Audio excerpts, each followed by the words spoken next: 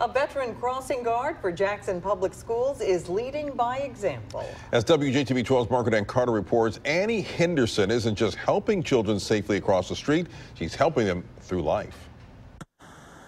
If you've passed by the corner of Prentice Street and Ethel Moore Avenue during school hours, you've probably seen Annie Henderson ushering children to and from Barr Elementary. You might have even caught one of her famous waves. She's been doing this for more than 25 years. I have some people come by sometimes tell me, you make my day because I wave to it most of everybody come by and my wave is I wave to them. But her job doesn't end when the child makes it across the street safely. She shares life lessons they can carry all the way home.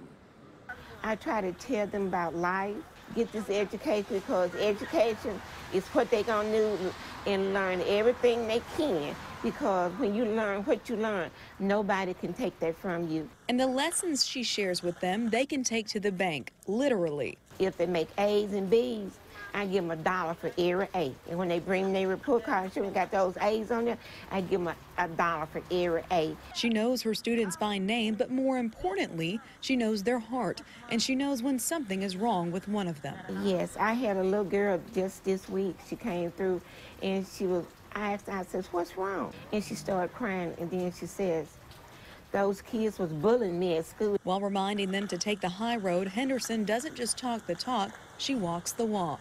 A lot of them will speed through here. If you tell them to slow down, they might curse you or throw the, put that, that sign back at you, you know. And I just smile and keep going because, like I said, I want to be, I want, like I tell my kids, I'm the better person out here. Reporting in Jackson, Margaret Ann Carter, WJTV 12.